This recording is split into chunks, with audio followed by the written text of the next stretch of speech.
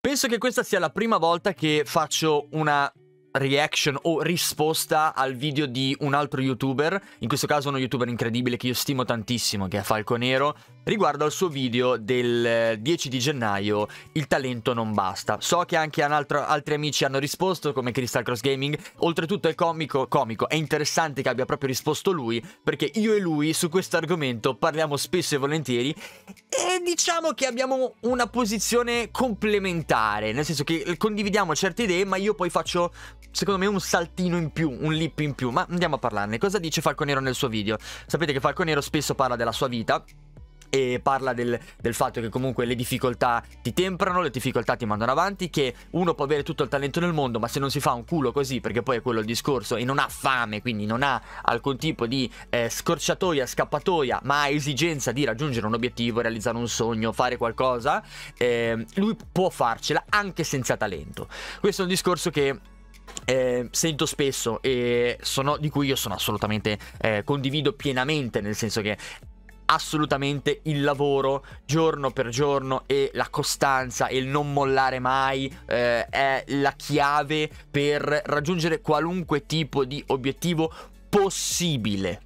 Ragazzi, sogni possibili e realizzabili. Se voi avete 50-60 anni per dirvi e volete fare gli astronauti, quello non è un sogno possibile. A meno che non state scappando con una navetta perché sta esplodendo la Terra. Allora lì diventate astronauti, bravi, GGVP, botta di culo. Che c'è anche quella, eh, può esserci. Però, quindi lui fa tutto questo discorso che condivido assolutamente, raccontando un po' la sua vita. Oltretutto io e lui siamo coetanei, entrambi 33 anni.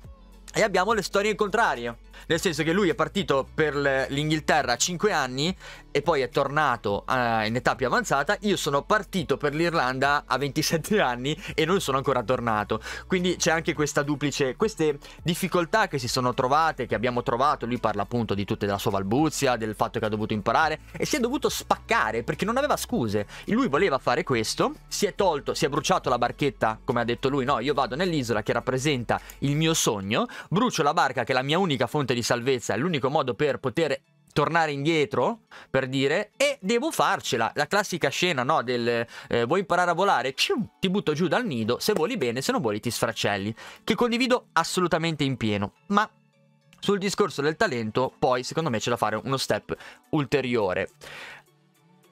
Per quanto mi riguarda capisco perfettamente il suo discorso sono sempre stato bullizzato da ragazzino, ci ho fatto dei video, ho fatto anche dei video riguardo agli anime manga, riguardo al bullying, eh, ho avuto una situazione familiare molto complicata da, da, da, da ragazzino, eh, mi sono, fatto, sono stato bocciato, sembrava che io non fossi in grado di studiare perché non, avevo, non, ne, non ne, avevo voglia, eh, o poi non sono riuscito a entrare a medicina che era il mio sogno, sono, ho avuto un miliardo di problemi fisici, eh, però, però ogni volta un centimetro alla volta ogni giorno comunque andavo avanti, anche strisciando con la bava sul pavimento, perché ero disperato, non vedevo una via di fuga.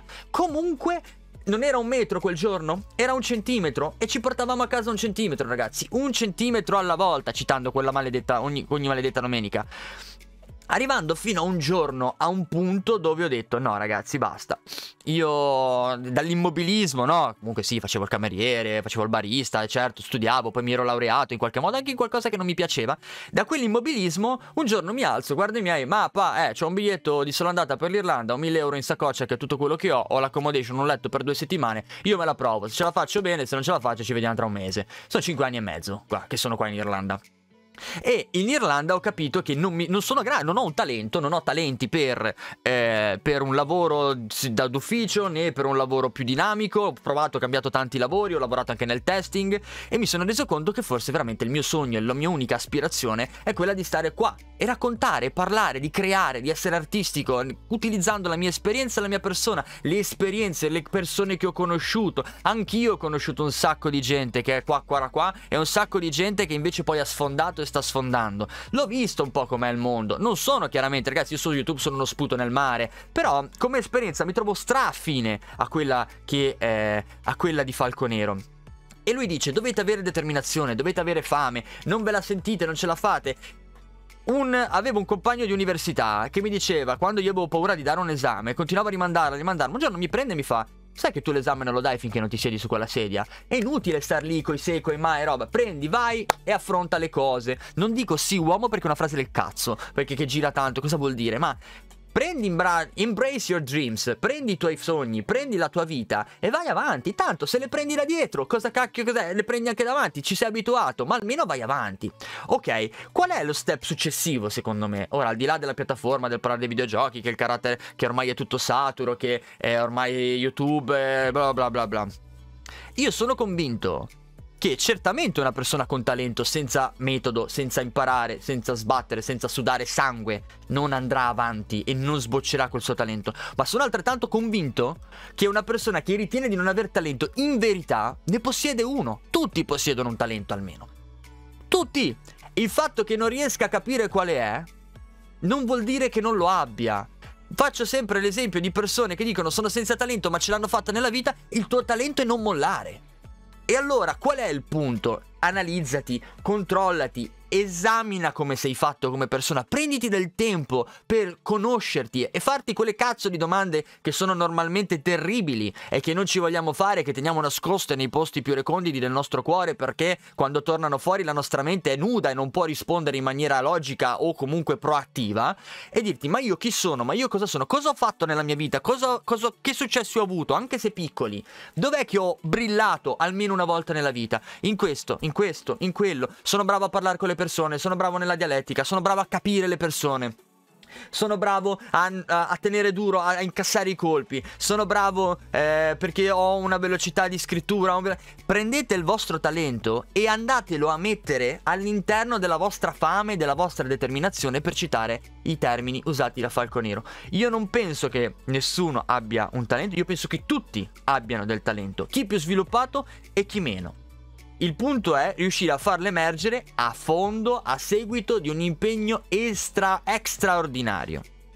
Poi è molto difficile capire quello che si vuole fare nella vita, questo penso che sia la cosa più complessa di tutte ed è per questo che io trovo estremamente importante il decidere in maniera logica quello che si vuole fare. Molte persone eh, arrivano a 40 anni che non sanno cosa fare della loro vita. C'è una grande frase, c'è, c'è una, canzone che diceva le persone più interessanti che ho conosciuto nella mia vita a 40 anni non sapevano ancora cosa fare da grandi. Però non erano persone immobili, erano persone che dietro di sé comunque, anche se non tenevano una linea dritta ed era piena di curve, era costellata di cose incredibili o particolari o interessanti che avevano comunque fatto e approfondito ed esperienze.